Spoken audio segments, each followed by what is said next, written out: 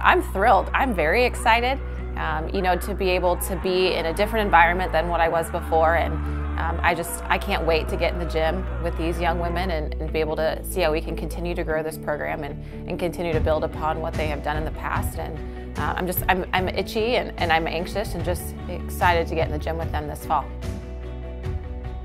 We want to be described as a team that is the hardest working team in the country. Um, it doesn't matter what level of play, we will be the hardest working team on the court. So whether that's going all out on defense, whether that's our offense constantly yelling, you know, what they're running, what, what they want to get set, um, there's no ball that we won't be able to get to. Um, that's kind of the way we've always run things. That's, that's my style. It's, it's going all out for every single ball. Um, but what I also want people to see is how fun the game of volleyball is. Um, I think, you know, for our student athletes, if they're not enjoying what they're doing, that's half the purpose, that's half the battle. And so I want someone to come watch our game, realize not only is volleyball a fast-paced sport, it's something that's really intense, but I also want them to see how much fun our girls are going to have. Um, whether it's laughing, joking around, all that. Um, I think that makes the game that much more fun, um, but also make those student athletes work really hard.